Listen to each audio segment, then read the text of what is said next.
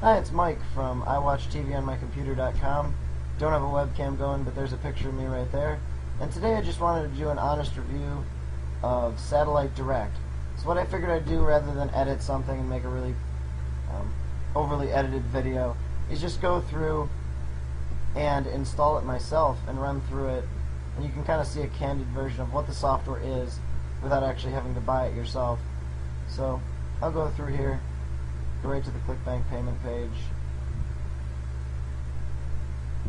And I'm going to fill out all my information. This is a one-time payment of $49.95 and then you get the software for life. So I'm going to fill that out and purchase it right now and I'll see you on the other side. Alright so I've just downloaded this Satellite Direct software and I'm ready to install it for you. We'll see how easy this is together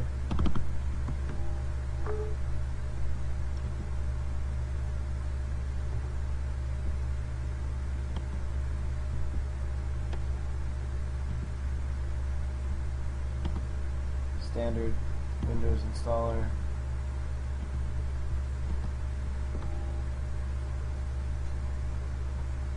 Alright, so you can see it's like a 45 second installation.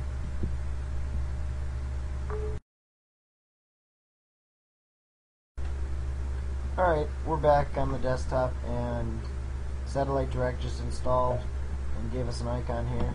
So we'll just click on that and go into it.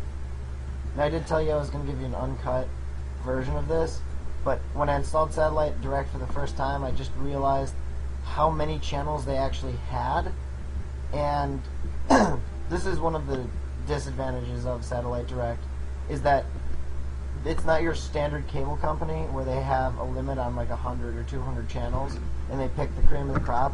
Satellite Direct puts out as many channels as they can. So they'll put out channels on everything.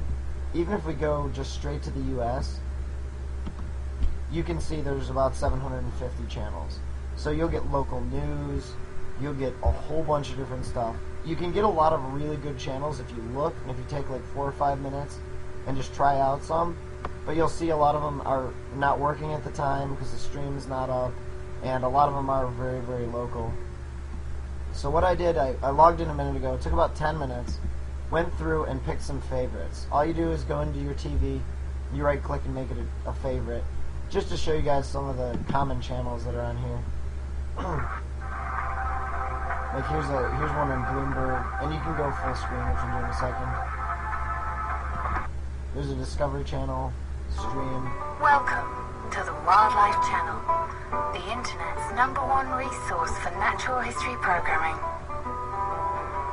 So what Satellite Direct does is it takes all these different streams from all over the internet that are online that you could find if you really, really search and dug and dug and dug. And they take and they put 3,500 of them together, and then they put them all in this one player.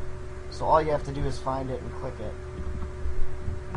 Another one, ESPN. I've been told this is a, a race that happened maybe a week ago, but I believe ESPN puts up their races right after they're done. There's some lesser known channels or channels that you wouldn't normally get, like this one's Fire TV. It wasn't loading too good earlier, but. Bundeswehr oder was war als erstes? Oder haben Sie einen anderen Beruf eigentlich? Nein, äh, für mich stand eigentlich immer fest, äh, ich möchte in die Fliegerei, ich möchte gerne fliegen. Not learning another language is perfect. The Food Network is a really The Advent Dish, your behind-the-scenes all-access pass to everything you love at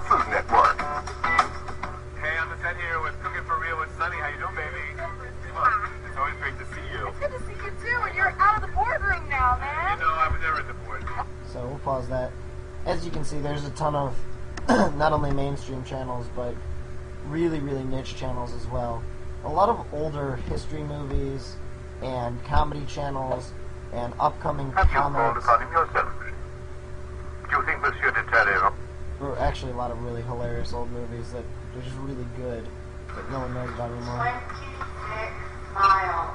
And then I just wanted to show you one of the channels that's you're like, why is this here?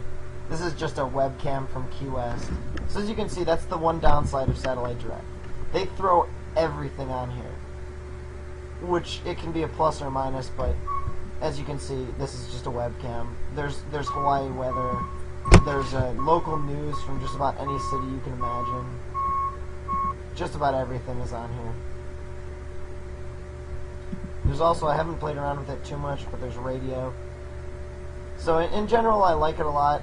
What I was gonna share is the um, popular TV.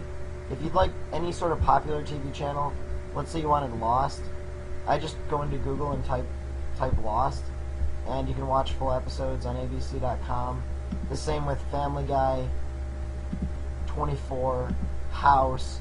So you can watch all those on the streaming websites online, and then I use that to replace my normal cable, and don't have to worry about paying $100 a month.